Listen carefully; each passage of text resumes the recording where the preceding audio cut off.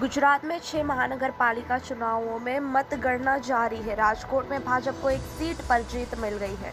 फ़िलहाल भाजपा 105 और कांग्रेस 21 सीटों पर बढ़त बनाते हुए वहीं अहमदाबाद से चौंकाने वाली खबर है, यहाँ असदुद्दीन आवेसी के चार उम्मीदवारों को बढ़त है। अब 12 सीटों पर आगे है, अहमदाबाद समेत छह महानगर पालिका की कुल पाँच सौ छिहत्तर सीटों पर 21 फरवरी को वोट डाले गए थे।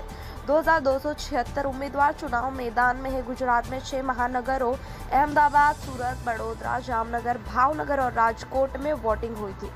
काउंटिंग में कोरोना गाइडलाइन का ध्यान रखा गया था। रोचक बात यह है कि अहमदाबाद के नारायणपुर सीट पर महिला उम्मीदवार बिंद्रा सूरती के सामने कोई उम्मीदवार न होने की वजह से भाजपा यह सीट चुनाव पूरे होने से पहले ही जीत चुका था।